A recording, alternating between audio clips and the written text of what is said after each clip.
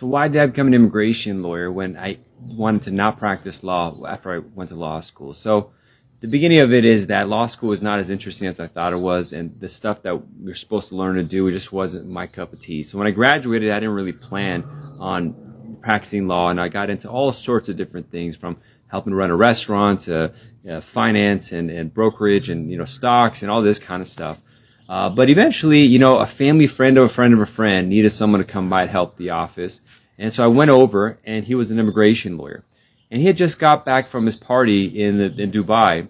And at that party, he got some major, major cases. Not some. He got like a dozen or more of these high profile cases. Uh, one called EB5, which is someone who uh, invests more than like a million dollars in the United States. Could be less, but uh, he gets a green card. But primarily, he got cases at this party of the top actor, actress, singer, director, uh, comedian, uh, martial artist, um, a scientist, all these different kinds of cases.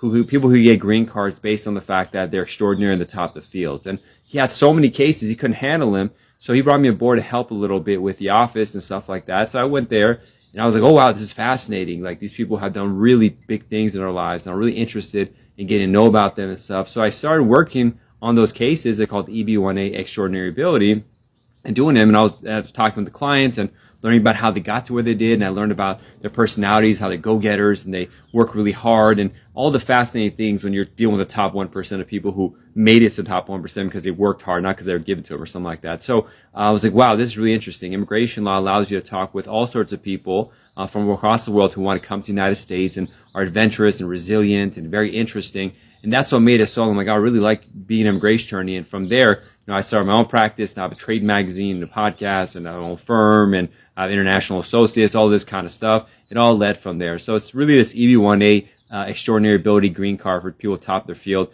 that did this. And right now I'm running a, a weekly seminar called the EB1A Playbook. And if you're interested in learning more about it, uh, just send me a message and uh, give me your email address. I can register you. It's Friday, 10:30 a.m. Pacific time where we break down the A to of the EB1A process if you want to learn about it so you know what the nuances of it are. Very fascinating kind of visa type that's really helpful for a lot of people.